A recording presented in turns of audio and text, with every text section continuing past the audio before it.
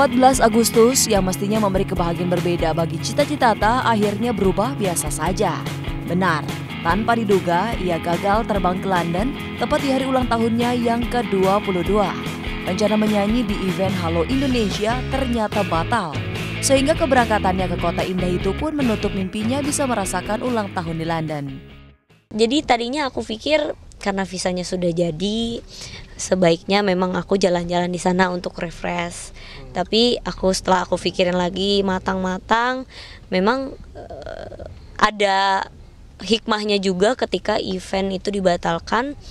Berarti aku harus lebih dekat dengan keluarga karena memang kan uh, baru saja mendapat suatu masalah lalu sudah selesai ya baiknya tuh pengajian terus juga kumpul dengan keluarga gitu kan itu lebih tenang gitu. Dibilang kecewa enggak sih.